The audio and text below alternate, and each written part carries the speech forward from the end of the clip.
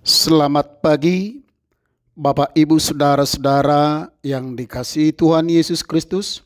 Sebelum kita melakukan aktivitas dalam satu hari ini, ada baiknya kita lebih dahulu mendengarkan firman Tuhan sebagai pembimbing rohani kita. Kita berdoa. Kasih karunia dan damai sejahtera Allah Bapa dan dari Yesus Kristus kiranya menyertai kita semuanya. Amin. Firman Tuhan bagi kita hari ini Jumat 12 Mei 2023 tertulis dalam kitab Wahyu 3 ayat yang ke-10 demikian firman Tuhan. Karena engkau menuruti firmanku untuk tekun menantikan aku, maka aku pun akan melindungi engkau dari hari pencobaan yang akan datang atas seluruh dunia untuk mencobai mereka yang diam di bumi. Dalam bahasa Batak, songonon madidok. Ai diraduti hodo hata habengeton nasian au. Au pe ramotak kumaho diari pangujunan nanaing ro tuliat portibion mangujuni aka namangingani tanoon. Demikian firman Tuhan. Bapak, Ibu, saudara-saudara yang dikasihi dalam nama Tuhan Yesus, dalam perjalanan hidup yang kita jalani dan hadapi ini, Tuhan tidak pernah berjanji bahwa langit akan selalu biru, jalan akan selalu rata, bunga akan selalu mekar, lautan tidak bergelombang. Tetapi kita yakin bahwa setelah badai ada pelangi. Artinya, jikalau kita sudah mengikut Dia, mengikut Tuhan, apakah kita telah terlepas dari berbagai pergumulan hidup? Apakah kita telah terlepas dari namanya penderitaan hidup? Apakah kita telah terlepas dari berbagai belenggu-belenggu hidup ataupun masalah-masalah hidup? Tidak. Namun dalam setiap hidup yang kita jalani dan hadapi, Tuhan berkata bahwasannya dia akan selalu menyertai dan melindungi dan menguatkan kita di sepanjang kehidupan. Karena itu jangan pernah menyerah, jangan pernah putus asa, tetapi bangunlah kesetiaan dan ketaatan untuk tetap menuruti firman Tuhan. Sebagaimana dalam renungan kita di pagi ini, Jemaat Philadelphia adalah jemaat yang kecil yang terletak di Asia Kecil. Jika dibandingkan dengan jemaat-jemaat lainnya yang ada di sekitarnya, bahwa jemaat Philadelphia ini adalah jemaat yang terkecil. Sudah kecil, tetapi mereka menghadapi tantangan dan masalah besar bahkan penganiayaan dari yang tidak suka dengan mereka. Kekuatan mereka tidak seberapa.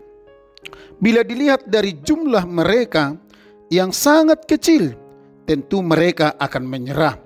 Mereka akan berpasrah diri dalam menghadapi pergumulannya. Tetapi hal itu tidak terjadi dalam jemaat ini. Bahkan mereka menerima penilaian sangat baik dari Tuhan, di mana Tuhan berkata, "Aku tahu bahwa kekuatanmu tidak seberapa, namun engkau menuruti firmanku." Artinya, saudaraku, walaupun mereka ini menghadapi banyak penganiayaan, mereka tidak pernah menyangkal Tuhan Yesus. Mereka tidak takut, mereka selalu tabah dan bertahan bertekun menuruti firman Tuhan. Bahkan dalam situasi sesulit apa pun, mereka tidak meninggalkan Tuhan Yesus. Mereka tetap membangun persekutuan yang indah dengan Tuhan.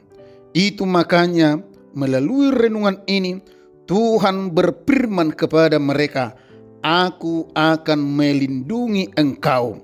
Hal ini dinyatakan Tuhan kepada mereka Karena mereka tetap menuruti firman Tuhan.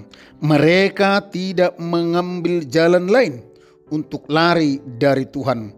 Mereka bukan mencari kekuatan kepada sekelilingnya, tetapi mereka bertahan dan tetap bersandar akan kekuatan Tuhan.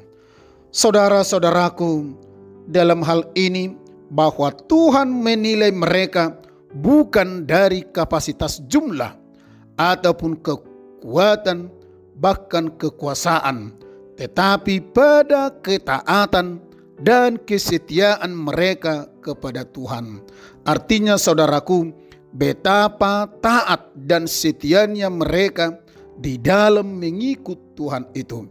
Apa pun kesusahan dan kesulitan yang mereka hadapi, namun keyakinan, kepercayaan mereka tetap dinyatakan dalam tindakan kehidupan.